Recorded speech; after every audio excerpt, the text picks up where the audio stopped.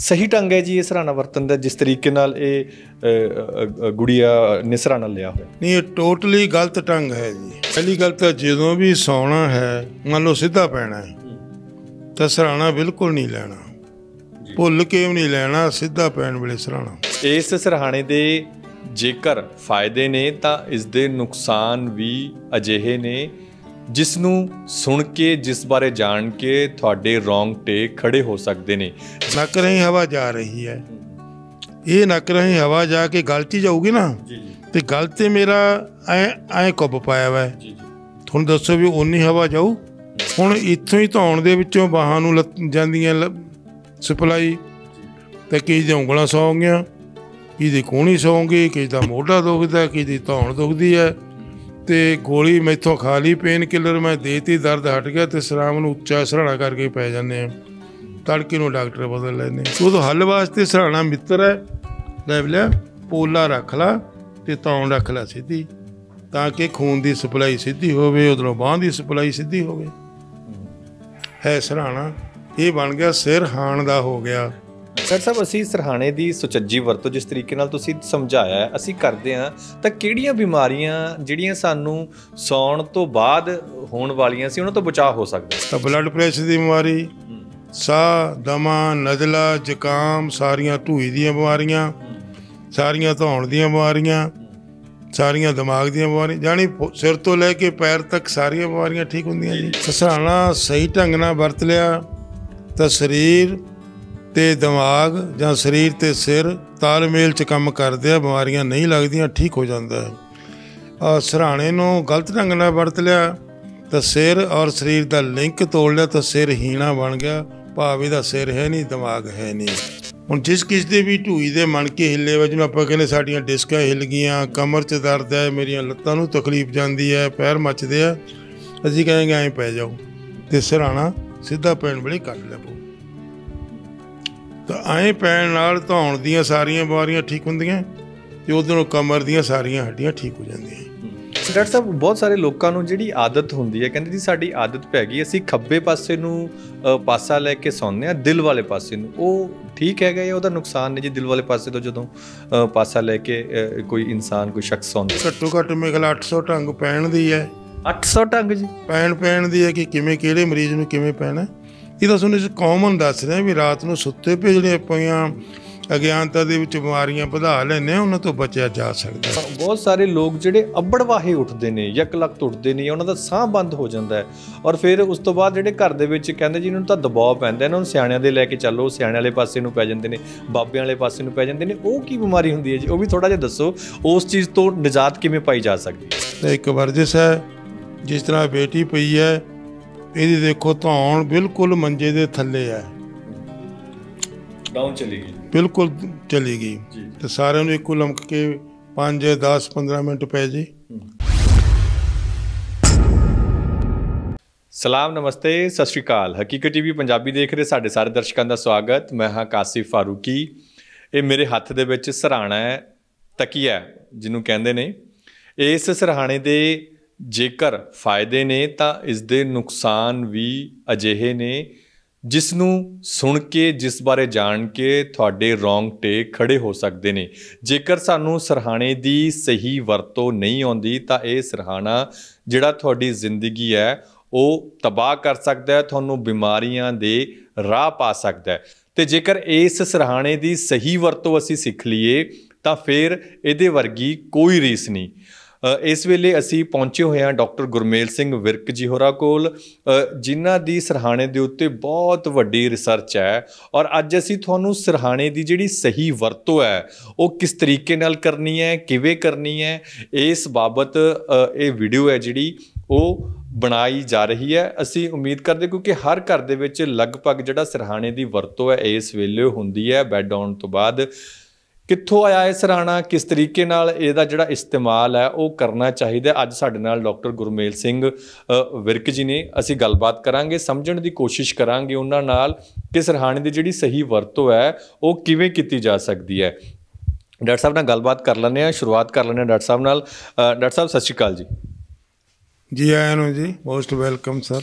Doctor ਸਾਹਿਬ ਜਿਸ ਤਰੀਕੇ ਨਾਲ ਆਪਾਂ ਗੱਲਬਾਤ ਕਰ ਰਹੇ ਸੀ ਤੁਸੀਂ ਦੱਸ ਰਹੇ ਸੀ ਕਿ ਸਰਹਾਣੇ ਦੀ ਜੇਕਰ ਸਹੀ ਵਰਤੋਂ ਸਾਨੂੰ ਨਹੀਂ ਆਉਂਦੀ ਸੁਚੱਜੀ ਵਰਤੋਂ ਸਾਨੂੰ ਨਹੀਂ ਆਉਂਦੀ ਤੇ ਸਰਹਾਣਾ ਮੌਤ ਦਾ ਸਮਾਨ ਹੈ ਆਰਾਮ ਦੀ ਸਮਾਨ ਦੀ ਥਾਂ। ਦੇਖੋ ਸਰਾਣੇ ਨੂੰ ਸਹੀ ਢੰਗ ਨਾਲ ਬਣ ਜਾ ਵਰਤ ਗਏ ਤਾਂ ਫਿਰ ਆਪਾਂ ਕਹਿੰਦੇ ਸਿਰ ਹਾਣ ਦਾ ਹੋ ਗਿਆ। ਭਾਵ ਸਿਰ ਤੇ ਸਾਰਾ ਸਰੀਰ ਹਾਣ ਦਾ ਬਰਾਬਰ ਹੋ ਗਿਆ ਹਾਣ ਆਪਾਂ ਸਮਝਦੇ ਹਾਂ। ਅਗਰ ਸਰਾਣੇ ਨੂੰ ਗਲਤ ਢੰਗ ਨਾਲ ਵਰਤ ਲਿਆ ਤਾਂ ਸਮਝ ਲਓ ਸਿਰ ਹੀਣਾ ਹੋ ਗਿਆ। ਭਾਵ ਸਾਡਾ ਦਿਮਾਗ ਘਟ ਗਿਆ, ਬਿਮਾਰੀਆਂ ਲੱਗ ਗਈਆਂ। ਤਾਂ ਸਰਾਣਾ ਸਹੀ ਢੰਗ ਨਾਲ ਵਰਤ ਲਿਆ ਤਾਂ ਸਰੀਰ ਤੇ ਦਿਮਾਗ ਜਾਂ ਸਰੀਰ ਤੇ ਸਿਰ ਤਾਲਮੇਲ ਚ ਕੰਮ ਕਰਦੇ ਆ, ਬਿਮਾਰੀਆਂ ਨਹੀਂ ਲੱਗਦੀਆਂ, ਠੀਕ ਹੋ ਜਾਂਦਾ ਹੈ। ਆ ਸਰਾਣੇ ਨੂੰ ਗਲਤ ਢੰਗ ਨਾਲ ਵਰਤ ਲਿਆ ਤਾਂ ਸਿਰ ਔਰ ਸਰੀਰ ਦਾ ਲਿੰਕ ਤੋੜ ਲਿਆ ਤਾਂ ਸਿਰ ਹੀਣਾ ਬਣ ਗਿਆ। ਭਾਵ ਇਹਦਾ ਸਿਰ ਹੈ ਨਹੀਂ ਦਿਮਾਗ ਹੈ ਨਹੀਂ।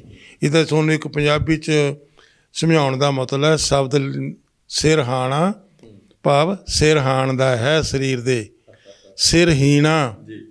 ਭਾਵ ਸਿਰ ਹੈ ਨਹੀਂਗਾ ਹੀਣ ਭਾਵਤਾ ਆ ਗਈ। ਜੀ ਜੀ ਸਰਾਣੇ ਦੇ ਗਲਤ ਵਰਤਣ ਨਾਲ ਤੇ ਸਹੀ ਵਰਤਣ ਦੇ ਢੰਗ ਨਾਲ। ਜੀ ਜੀ ਇਸੇ ਕਰਕੇ ਉਹਦਾ ਨਾਮ ਰੱਖਿਆ ਸਿਰ ਹਾਣਾ। ਜੀ ਜੀ ਤਾਂ ਡਾਕਟਰ ਸਾਹਿਬ, ਤੁਸੀਂ ਸਾਨੂੰ ਦੱਸੋਗੇ ਕਿ ਕਿਸ ਤਰੀਕੇ ਨਾਲ ਜਿਹੜੇ ਇਹਦੀ ਵਰਤੋਂ ਹੈਗੀ ਹੈ ਸਿਰਹਾਣੇ ਦੀ, ਉਹ ਆਪਾਂ ਕਰ ਸਕਦੇ ਹਾਂ? ਕਿਉਂਕਿ ਜਿਹੜਾ ਸਿਰਹਾਣਾ ਹੈ, ਇਸ ਦੀ ਵਰਤੋਂ ਜੇਕਰ ਸੁਚੱਜੇ ਢੰਗ ਨਾਲ ਨਾ ਕੀਤੀ ਜਾਵੇ, ਤਾਂ ਫਿਰ ਇਹ ਤੁਸੀਂ ਕਹਿ ਰਹੇ ਹੋ ਕਿ ਬਹੁਤ ਜ਼ਿਆਦਾ ਬਿਮਾਰੀਆਂ ਦਾ ਕਾਰਨ ਹੈ। ਕੀ ਜਿਸ ਤਰੀਕੇ ਨਾਲ ਅਸੀਂ ਡੈਮੋਨਸਟ੍ਰੇਸ਼ਨ ਹੈ, ਜਿਹੜੀ ਤੁਹਾਨੂੰ ਕਰਕੇ ਦਿਖਾਣੇ ਆ ਡੈਮੋ ਕਰਕੇ ਦਿਖਾਣੇ ਆ ਸਹੀ ਢੰਗ ਕਿਵੇਂ ਹੈ ਸਿਰਹਾਣੇ ਨੂੰ ਵਰਤਣ ਦੇ?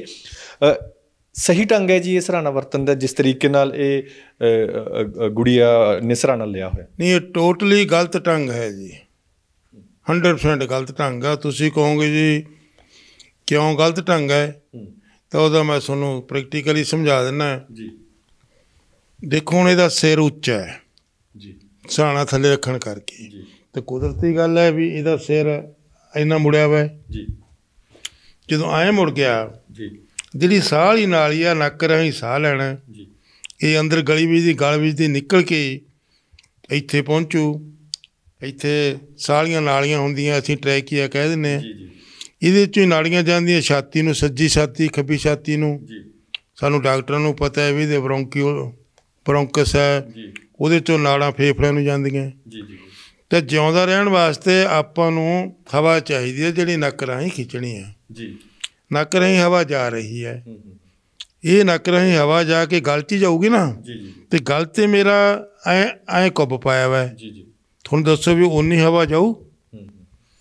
ਇੱਕ ਹਵਾ ਸਿੱਧੀ ਉਂਗਲ 'ਚ ਜਾ ਰਹੀ ਹੈ ਤੇ ਇੱਕ ਉਂਗਲ ਐਂ ਟੇਢੀ ਹੋ ਗਈ। ਉਹ 'ਚ ਹਵਾ ਪੂਰੀ ਜਾਊ? ਜੀ ਨਹੀਂ ਜਾਊ। ਇਸ ਤਰ੍ਹਾਂ ਸਰਾਣੇ ਨਾਲ ਇਹਦੀ ਗਰਦਨ ਐ ਕੁੱਟੀ ਗਈ। ਜੀ ਜੀ।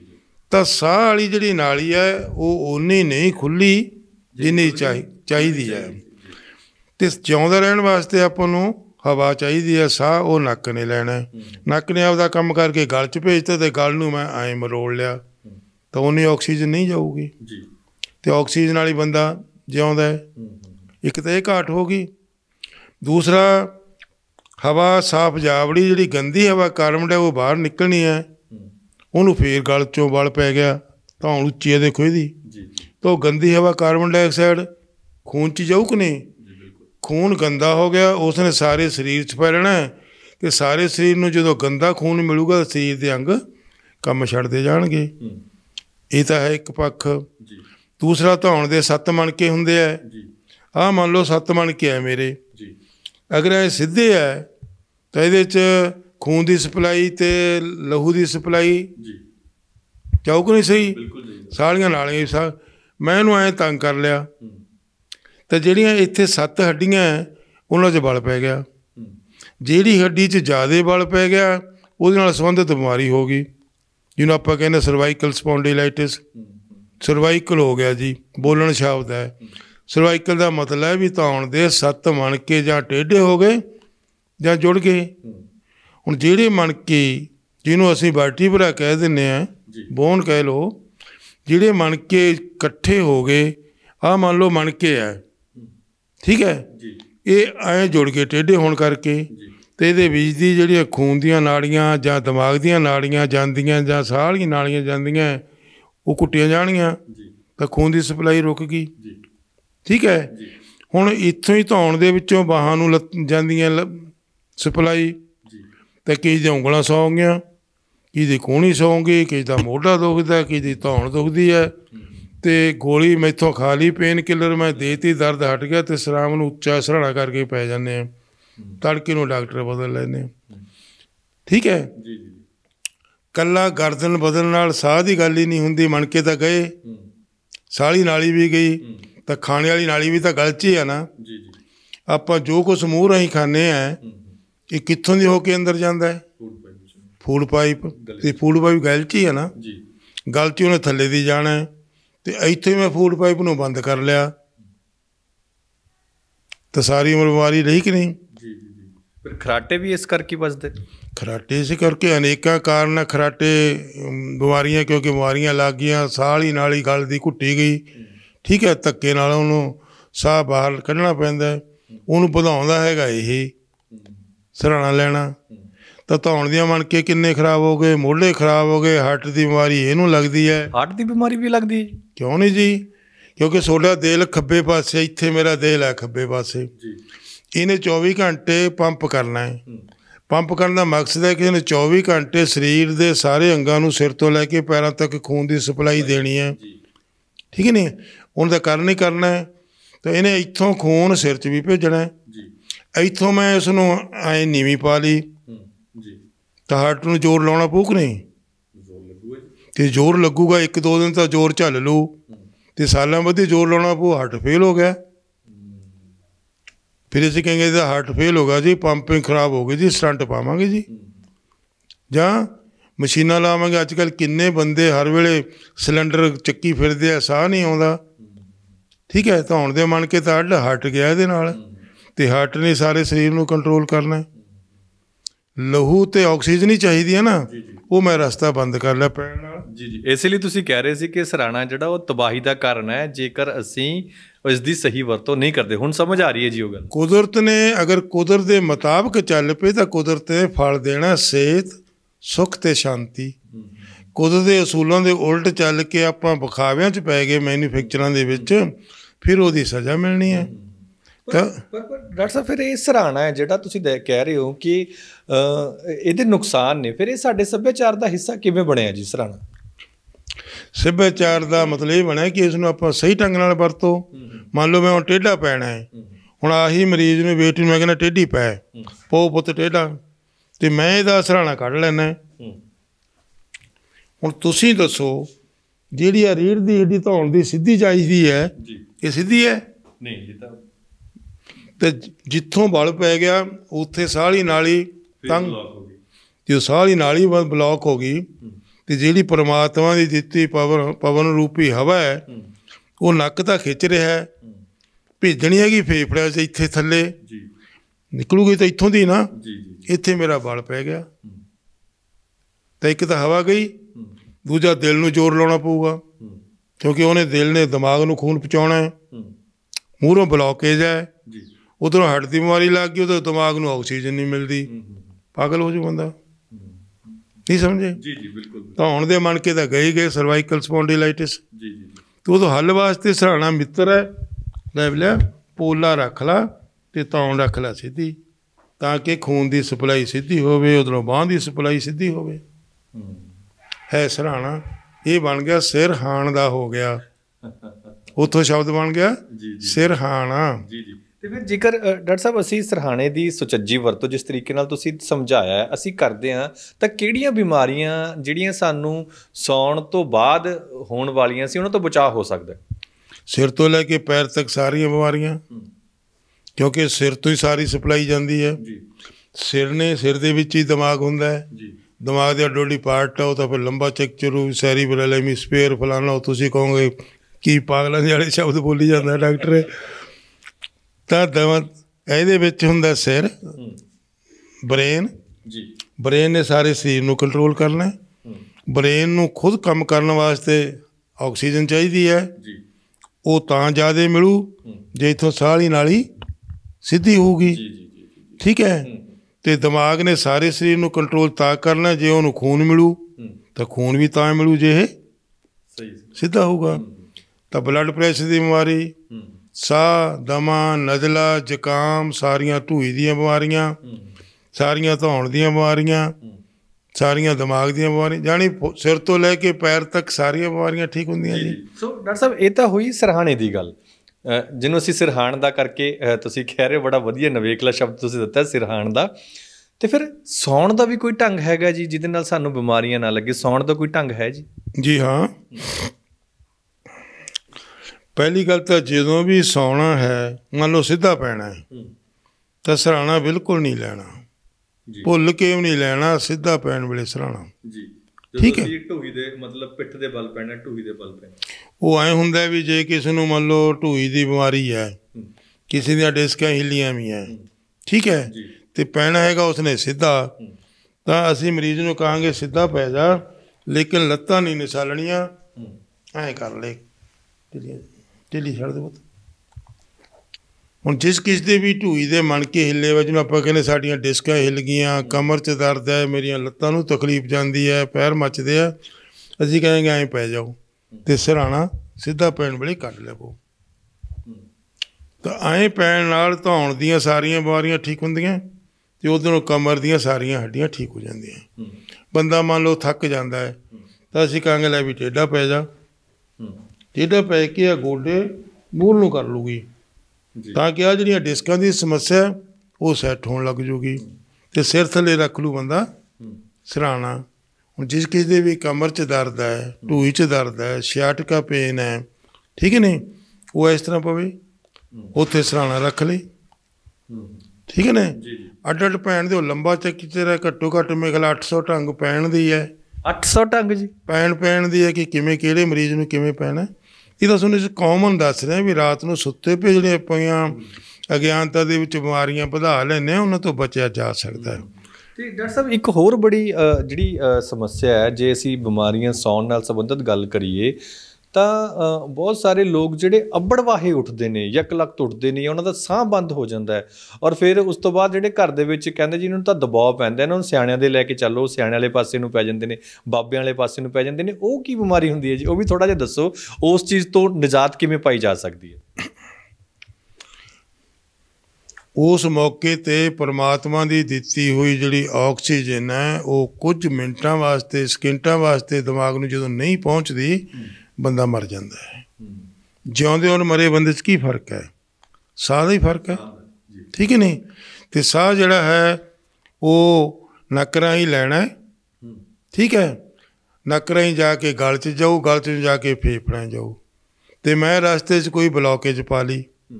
ਬਲੌਕੇਜ ਦੇ ਅਨੇਕਾਂ ਢੰਗ ਇੱਕ ਤਾਂ ਧੌਣ ਟੇਢੀ ਕਰ ਲਈ ਇੱਕ ਸਰਾਣ ਜਿਆਦੇ ਲੈ ਲਿਆ ਇੱਕ ਟੇਢਾ ਪੈ ਕੇ ਵੀ ਇਹਨੂੰ ਐਂ ਜੋੜ ਕੇ ਪੈ ਜਾਂਦੇ ਆਪਾਂ। ਉਦੋਂ ਰਾਤ ਨੂੰ ਰੋਟੀਆਂ ਨਾਲ ਢਿੱਡ ਭਰ ਕੇ ਪੈ ਗਏ। ਢਿੱਡ ਫੈਲ ਗਿਆ। ਢਿੱਡ ਤੇ ਛਾਤੀ ਦੇ ਵਿਚਾਲੇ ਇੱਕ ਦੀਵਾਰ ਹੁੰਦੀ ਆ ਅਸੀਂ ਉਹਨੂੰ ਡਾਇਫਰਾਮ ਕਹਿ ਦਿੰਦੇ ਆ। ਜਦੋਂ ਢਿੱਡ ਭਰ ਕੇ ਪੈ ਜਾਾਂਗੇ ਤਾਂ ਫੇਫੜੇ ਉੱਪਰ ਚੱਕੇ ਜਾਣਗੇ। ਤੇ ਫੇਫੜੇ ਜਦੋਂ ਉੱਪਰ ਚੱਕੇ ਜਾਂਦੇ ਆ ਲੰਗਜ ਹੁਣ ਉਹਦੇ ਵਾਸਤੇ ਫੈਲਣ ਨੂੰ ਜਗ੍ਹਾ ਤਾਂ ਹੈ ਨਹੀਂ ਫੇਫੜਿਆਂ ਦੇ। ਚਾਰ ਸਪਿਰੋ ਛਾਤੀ ਨਾਲ ਢੱਕ ਲਿਆ। ਹੇਠਾਂ ਤੋਂ ਰੋਟੀ ਨਾਲ ਢਿੱਡ ਭਰ ਲਿਆ। ਹੁਣ ਗਲ 'ਚ ਕਿੱਥੋਂ ਜਾਊ? ਸਾਹ ਰੁਕ ਜਾਂਦਾ ਤੇ ਬੰਦਾ ਬੜਵਾਏ ਉੱਠ ਖੜਦਾ ਹੈਗਾ ਅਨੇਕਾਂ ਢੰਗ। ਉਹਦੇ ਕਰਕੇ ਅਸੀਂ ਕਹਿੰਦੇ ਭਾਈ ਸੌਣ ਤੋਂ ਪਹਿਲਾਂ ਰੋਟੀ ਖਾ ਕੇ 2 ਘੰਟੇ ਪਹਿਲਾਂ ਡੂਢ ਘੰਟੇ ਪਹਿਲਾਂ ਰੋਟੀ ਖਾ ਲਓ ਐਨ ਹਜਮ ਹੋ ਜੇ ਹਲਕੇ ਪੇਟ ਸੌਵੋ। ਸੌਣ ਦੇ ਢੰਗ ਤੁਹਾਨੂੰ ਦੱਸ ਦਿੱਤੇ ਆ। ਤੇ ਜਦੋਂ ਬੰਦਾ ਅੱਬੜਵਾ ਉੱਠਦਾ ਹੈ, ਉਹਨੂੰ ਆਕਸੀਜਨ ਮਿਲਦੀ ਨਹੀਂ ਤੇ ਤੜਫਦਾ ਉਦੋਂ ਫਿਰ ਇੱਕੇ ਲੱਖ ਤੋਂ ਭੰਬਲ ਭੂਸੇ ਉੱਠ ਖੜਦਾ। ਆਪਾਂ ਨੂੰ ਗਿਆਨ ਨਾ ਹੋਣ ਕਰਕੇ ਫਿਰ ਜਿੱਥੇ ਸ਼ਰਧਾ ਹੁੰਦੀ ਆਪਾਂ ਉੱਥੇ ਜਾ ਵੜਦੇ ਹਾਂ। ਭਾਵ ਹੁੰਦਾ ਹੈ ਵੀ ਉਹਦੇ ਫੇਫੜਿਆਂ ਨੂੰ ਓਨੀ ਹਵਾ ਨਹੀਂ ਮਿਲ ਰਹੀ ਜਿੰਨੀ ਚਾਹੀਦੀ ਹੈ। ਕੁਛ ਤਾਂ ਪੈਣ ਨਾਲ ਸਾਹ ਰੋਕ ਲਿਆ। ਕੁਛ ਰਾਤ ਨੂੰ ਢਿੱਡ ਭਰ ਕੇ ਪੈ ਗਏ ਤੇ ਫੇਫੜੇ ਤਾਂ ਚੱਕੇ ਜਾਂਦੇ ਆ ਸਾਹ ਨਹੀਂ ਆਉਂਦਾ। ਤੇ ਇੱਕ ਸਕਿੰਟ ਵਾਸਤੇ ਉਹ ਬੰਦਾ ਤੜਫਦਾ ਤੇ ਆਪਾਂ ਫਿਰ ਪੈ ਜਾਂਦੇ ਹਾਂ। ਭੂਤਾਂ ਪ੍ਰੇਤਾਂ ਦੇ ਚੱਕਰਾਂ ਦੇ ਵਿੱਚ। ਜੀ ਜੀ। ਤੇ ਫਿਰ ਡਾਕਟਰ ਸਾਹਿਬ ਬਹੁਤ ਸਾਰੇ ਲੋਕਾਂ ਨੂੰ ਜਿਹੜੀ ਆਦਤ ਹੁੰਦੀ ਹੈ ਕਹਿੰਦੇ ਜੀ ਸਾਡੀ ਆਦਤ ਪੈ ਗਈ ਅਸੀਂ ਖੱਬੇ ਪਾਸੇ ਨੂੰ ਪਾਸਾ ਲੈ ਕੇ ਸੌਂਦੇ ਆ ਦਿਲ ਵਾਲੇ ਪਾਸੇ ਨੂੰ। ਉਹ ਠੀਕ ਹੈਗਾ ਜਾਂ ਉਹਦਾ ਨੁਕਸਾਨ ਨੇ ਜੀ ਦਿਲ ਵਾਲੇ ਪਾਸੇ ਤੋਂ ਜਦੋਂ ਪਾਸਾ ਲੈ ਕੇ ਕੋਈ ਇਨਸਾਨ ਕੋਈ ਸ਼ਖਸ ਸੌਂਦਾ? ਦੇਖੋ ਪੈਣ ਦੇ ਢੰਗ ਅਨੇਕ ਹੈ ਜੇ ਕਿਸੇ ਨੂੰ ਹਾਰਟ ਦੀ ਬਿਮਾਰੀ ਹੈ ਅਸੀਂ ਕਹਿੰਦੇ ਆ ਖੱਬਾ ਪਾਸਾ ਉੱਪਰ ਕਰਕੇ ਪੈ ਜਾਓ। ਕਿਸੇ ਨੂੰ ਹਾਰਟ ਦੀ ਬਿਮਾਰੀ ਹੈ ਬਹੁਤ ਜ਼ਿਆਦਾ ਬਲੱਡ ਪ੍ਰੈਸ਼ਰ ਹੈ ਤਾਂ ਹੁਣ ਆਹ ਪੇਸ਼ੈਂਟ ਮਰੀਜ਼ ਹੈ ਇਹਦਾ ਖੱਬਾ ਪਾਸਾ ਕਿਹੜਾ? ਆਹ ਹੈ। ਜੀ। ਠੀਕ ਹੈ? ਜੀ। ਤੇ ਅਸੀਂ ਕਹਾਂਗੇ ਖੱਬਾ ਪਾਸਾ ਉੱਪਰ ਕਰਕੇ ਪੈ ਜਾ। ਖੱਬਾ ਪਾਸਾ ਹੈ? ਜੀ। ਪਾਸਾ ਲੈ ਲਓ ਆ ਹੈ। ਇੱਥੇ ਸਹਾਣਾ ਰੱਖ ਲਓ। ਆ ਬਾਂਹ ਇਹਦੀ ਇੱਥੇ ਹੋ ਗਈ। ਆ ਹੱਥ ਇੱਥੇ ਆ ਜਾਂ ਇੱਥੇ ਆਰਾਮ ਨਾਲ ਪੈ ਜਾਓ। ਪੌਣ ਸਿੱਧੀ ਹੈ। ਤਾਂ ਹਾਰਟ ਖੱਬੇ ਪਾਸੇ ਹੈ। ਜੀ। ਹਾਰਟ ਨੂੰ ਉੱਪਰ ਖੂਨ ਪਹੁੰਚਾਉਣ ਵਾਸਤੇ ਜ਼ੋਰ ਲਾਉਣਾ ਪਊ? ਨਹੀਂ ਲੱਗਾ ਨਾਰਮਲੀ ਤੇ ਜੇ ਉਹਦਾ ਹਾਰਟ ਕਮਜ਼ੋਰ ਹੈ ਉਹਨੂੰ ਰਾਤ ਨੂੰ ਰੈਸਟ ਮਿਲ ਗਈ ਆਪਣੇ ਆਪ ਹੀ ਖੂਨ ਜਾ ਰਿਹਾ ਹੈ। ਤੇ ਜਿਸ ਕਿਸੇ ਨੂੰ ਵੀ ਬਲੱਡ ਪ੍ਰੈਸ਼ਰ ਹੈ ਜਾਂ ਕਿਸੇ ਨੂੰ ਹਾਰਟ ਦੀ ਬਿਮਾਰੀ ਹੈ ਉਹ ਜਿਸ ਤਰ੍ਹਾਂ ਆ ਬੇਟੀ ਪਈ ਹੈ ਇੱਕੋ ਪੈਣਾ ਚਾਹੀਦਾ ਹੈ। ਜੀ। ਹਰ ਕਿਸੇ ਨੂੰ ਹੀ। ਜੀ ਜੀ। ਠੀਕ ਹੈ? ਜੀ। ਜੇ ਕਿਸੇ ਨੂੰ ਢੂਈ ਦੀ ਬਿਮਾਰੀ ਹੈ ਨਾਲ ਅਸੀਂ ਕਹਿੰਦੇ ਵੀ ਗੋਡੇ ਆਏ ਇਕੱਠੇ ਕਰ ਲਾ। ਤਾਂ ਕਿ ਰੀੜ੍ਹ ਦੀ ਹੱਡੀ ਦੀਆਂ ਡਿਸਕਾਂ ਦੇ ਮਣਕੇ ਰਾਤ ਨੂੰ ਪੈਣਾ ਤਾਂ ਸਭ ਨਹੀਂ ਹੈ ਨਾ? ਜੀ ਜੀ ਜੀ ਜੀ ਠੀਕ ਹੈ? ਜੀ। ਔਰ ਜੇ ਕਿਸੇ ਨੂੰ ਬਲੱਡ ਪ੍ਰੈਸ਼ਰ ਠੀਕ ਹੈ ਸਾਹ ਦੀ ਬਿਮਾਰੀ ਹੈ ਪੈਣਾ ਇੱਕੋ ਹੀ ਹੈ ਸੱਜਾ ਪਾਸਾ ਉੱਪਰ ਕਰਕੇ ਪੈ ਜੇ। ਜੀ। ਇਹ ਤੁਹਾਡੇ ਹਾਰਟ ਨਾਲ ਸੰਬੰਧਿਤ ਹੈ ਵੀ ਪੈਣ ਨਾਲ ਹੀ ਕਿਵੇਂ ਠੀਕ ਹੁੰਦੀਆਂ ਜੀ? ਤਾਂ ਇੱਕ ਵਰਜਿਸ਼ ਹੈ ਜਿਸ ਤਰ੍ਹਾਂ ਬੇਟੀ ਪਈ ਹੈ ਇਹਦੀ ਦੇਖੋ ਧੌਣ ਬਿਲਕੁਲ ਮੰਜੇ ਦੇ ਥੱਲੇ ਹੈ। ਡਾਊਨ ਚਲੀ ਗਈ ਬਿਲਕੁਲ ਚਲੀ ਗਈ। ਤੇ ਸਾਰਿਆਂ ਨੂੰ ਇੱਕੋ ਲਮਕ ਕੇ 5 10 15 ਮਿੰਟ ਪੈ ਜੇ। ਤਾਂ ਧੌਣ ਦੇ ਮਣਕੇ ਸਿੱਧੇ ਜਾਣਗੇ। ਜੀ। ਤੇ ਜਿਹੜੇ ਧੌਣ ਦੇ ਮਣਕੇ ਮੂੰਹ ਨੂੰ ਜੁੜੇ ਹੋਏ ਸੀ ਉਹ ਡਿਸਕਾਂ ਸੈੱਟ ਹੋ ਜਾਣਗੀਆਂ। ਜੀ। ਸਿੰਪਲੀ ਪੈਣ ਨਾਲ। 10-15 ਮਿੰਟ ਪਵੋ। ਵਰਜਿਸ਼ ਕਰਨੀ ਹੈ ਤੇ ਇਹਦਾ ਇੱਕ ਯੋਗਾ ਵੀ ਹੈ। ਆਹ ਠੋਡੀ ਨੂੰ ਚੱਕ ਕੇ ਇੱਥੇ ਲਾਉਣਾ ਹੈ। ਬੇਟਾ ਲਾਓ ਹੌਲੀ ਹੌਲੀ ਚੱਕ ਕੇ। ਸ਼ਾਬਾਸ਼। ਹੁਣ ਇਹਨੂੰ ਪੂਰਾ ਪਿੱਛੇ ਥੱਲੇ ਲੈ ਜਾਓ। ਨਵੇਂ ਬੰਦੇ ਨੂੰ ਕਹਿੰਦੇ ਪੰਜ ਵਾਰੀ ਕਿਉਂ ਕਰ ਲਾ। ਜਦੋਂ ਬੰਦਾ ਪੰਜ ਤੇ ਆਇਆ ਸੀ ਕਹਿੰਦਾ 10 ਵਾਰੀ ਕਰ ਲਾ। ਜੀ ਜੀ ਇੱਕ ਵਾਰੀ ਫੇਰ ਕਰ ਪੁੱਤ। ਧੌਣ ਫੇਰ ਲਮਕ ਗਈ। ਮੂਰੇ ਆਪਾਂ ਆਪਦੀ ਤਾਕਤ ਨਾਲ ਖਿੱਚਣਾ ਮਗਰ ਧਰਤੀ ਦੀ ਗ੍ਰੈਵਿਟੇਸ਼ਨਲ ਫੋਰਸ ਜਿਹੜਾ ਤੁਸੀਂ ਕਹਿੰਦੇ ਸੀ ਲੈਕਚਰ ਦਿਓ ਉਹ ਧਰਤੀ ਨੇ ਖਿੱਚ ਲਿਆ। ਜੀ ਜੀ ਜੀ। ਹੱਥ ਹੈ ਜਿਹੜੇ ਕੋਈ ਬੇਟੀ ਦੇ ਰੱਖੇ ਮੈਂ ਸਾਈਡ ਤੇ ਰੱਖ ਲਓ। ਨਹੀਂ ਕਿਤੇ ਇਹ ਵਰਜਿਸ਼ ਹੈ। ਜੀ। ਦੂਜੀ ਠੋਡੀ ਨੂੰ ਚੱਕ ਕੇ ਸੱਜਾ ਮੋਢਾ ਗੜਾ ਹਾਂਜੀ। ਠੋਡੀ ਨੂੰ ਚੱਕ ਕੇ ਸੱਜੇ ਮੋਢੇ ਨਾਲ ਲਾਓ। ਗੁੱਡ। ਫਿਰ ਖੱਬੇ ਨਾਲ ਲਾਓ। ਲੈ। ਸ਼ੁਰੂ ਚ ਪੰਜ ਪੰਜ ਵਾਰੀ ਕਰ ਲਓ ਮਗਰੋਂ 10 ਵਾਰੀ ਕਰ ਲਓ। ਤਾਂ ਤੁਹਾਡੀ ਸਰਵਾਈਕਲ ਸਪੌਂਡੀਲਾਈਟਸ ਚ ਬਿਨਾਂ ਖਿੱਚਾਂ ਤੋਂ ਬਿਨਾਂ ਆਪਰੇਸ਼ਨਾਂ ਤੋਂ ਬਿਨਾਂ ਟੀਕਿਆਂ ਤੋਂ ਸਹੀ ਢੰਗ ਨਾਲ ਪੈ ਗਏ ਤੇ ਸਹੀ ਢੰਗ ਨਾਲ ਵਰਜਿਸ਼ ਕਰ ਲਈ। ਦੱਸ। ਉਧਰੋਂ ਪਾਣੀ ਵਾਲਾ ਇਲਾਜ ਗਰਮ ਠੰਡਾ ਤੌਲੀਆ ਰੱਖ ਲਓ। ਉਹ ਜਿਹੜਾ ਤੁਹਾਨੂੰ ਉਧਰ ਦੱਸ ਕੇ ਹਟੇ ਆ ਜੀ ਜੀ। ਠੀਕ ਹੈ? ਜੀ ਜੀ ਹਾਂ ਜੀ ਬਹੁਤ ਬਹੁਤ ਸ਼ੁਕਰੀਆ ਜੀ ਡਾਕਟਰ ਸਾਹਿਬ। ਬਹੁਤ ਕੀਮਤੀ ਗੱਲਾਂ ਤੁਸੀਂ ਅੱਜ ਕੀਤੀਆਂ ਨੇ। ਮੈਨੂੰ ਲੱਗਦਾ ਕਿ ਜੇਕਰ ਕੋਈ ਇਸ ਨੂੰ ਅਮਲ ਦੇ ਵਿੱਚ ਲੈ ਕੇ ਆਉਂਦਾ ਤਾਂ ਉਹ ਨੀਂਦ ਨੂੰ ਨੀਂਦ ਦੀ ਤਰ੍ਹਾਂ ਲੈ ਸਕਦੇ ਤੇ ਨੀਂਦ ਨੂੰ ਬਿਮਾਰੀਆਂ ਭਜਾਉਣ ਦਾ ਇੱਕ ਜ਼ਰੀਆ ਜਿਹੜਾ ਉਹ ਬਣਾ ਸਕਦੇ। ਤੁਸੀਂ ਆਪਣਾ ਕੀਮਤੀ ਸਮਾਂ ਦਿੱਤਾ। ਇਸ ਲਈ ਤੁਹਾਡਾ ਬਹੁਤ ਬਹੁਤ ਧੰਨਵਾਦ ਜੀ। ਓਕੇ ਜੀ। ਜੀ ਆਇਆਂ ਨੂੰ ਛੋਟੇ ਵੀਰ। ਜੀ ਜੀ। ਸੋ ਇਹ ਸਨ ਡਾਕਟਰ ਗੁਰਮੇਲ ਸਿੰਘ ਵਿਰਕ ਸਾਬਕਾ ਸੀਐਮਓ ਜਿਨ੍ਹਾਂ ਨੇ ਅੱਜ ਬੜੇ ਤਰੀਕੇ ਨਾਲ ਸਮਝਾਇਆ ਹੈ ਕਿ ਸਰਹਾਣੇ ਦੀ ਸੁਚੱਜੀ ਵਰਤੋਂ ਜੇਕਰ ਅਸੀਂ ਆਪਣੀ ਜ਼ਿੰਦਗੀ ਦੇ ਵਿੱਚ ਲੈ ਕੇ ਆਉਣੇ ਆ ਤਾਂ ਉਸ ਨਾਲ ਬਹੁਤ ਜ਼ਿਆਦਾ ਇਸ ਤਰ੍ਹਾਂ ਦੀਆਂ ਬਿਮਾਰੀਆਂ ਨੇ ਜਿਹੜੀਆਂ ਸਰੀਰ ਨੂੰ ਲੱਗਦੀਆਂ ਹੀ ਨਹੀਂ ਔਰ ਜੇਕਰ ਲੱਗੀਆਂ ਹੋਈਆਂ ਬਿਮਾਰੀਆਂ ਨੇ ਤਾਂ ਉਹ ਦੂਰ ਹੁੰਦੀਆਂ ਨੇ, ਨਾਲ ਹੀ ਉਹਨਾਂ ਨੇ ਇੱਕ ਦੋ ਐਕਸਰਸਾਈਜ਼ਸ ਦੱਸੀਆਂ ਨੇ ਜਿਸ ਨੂੰ ਜੇਕਰ ਅਸੀਂ ਅਮਲ ਦੇ ਵਿੱਚ ਲੈ ਕੇ ਆਉਣੇ ਆ, ਤਾਂ ਸਰਵਾਈਕਲ ਦੀ ਵੱਡੀ ਸਮੱਸਿਆ, ਦਿੱਕਤ ਜਿਹੜੀ ਹੈ, ਉਹ ਦੂਰ ਹੋ ਸਕਦੀ ਹੈ। ਫਿਲਹਾਲ ਇਹ ਵੀਡੀਓ ਕਿਵੇਂ ਲੱਗੀ, ਇਸ ਬਾਬਤ ਤੁਸੀਂ ਆਪਣੀ ਰਾਏ ਵੀ ਸਾਨੂੰ ਜ਼ਰੂਰ ਦਿਓ। ਜੇਕਰ ਡਾਕਟਰ ਗੁਰਮੇਲ ਸਿੰਘ ਵਿਰਖੋਰਾ ਨਾਲ ਤੁਸੀਂ ਰਾਬਤਾ ਕਰਨਾ ਹੈ, ਤਾਂ ਹੇਠਾਂ ਜਿਹੜਾ ਵੀਡੀਓ ਦੇ ਹੇਠਾਂ ਨੰਬਰ ਚੱਲ ਰਿਹਾ ਹੈ, ਉਸ ਨੰਬਰ ਦੇ ਉੱਤੇ ਤੁਸੀਂ ਰਾਬਤਾ ਕਰ ਸਕਦੇ ਹੋ। ਧੰਨਵਾਦ।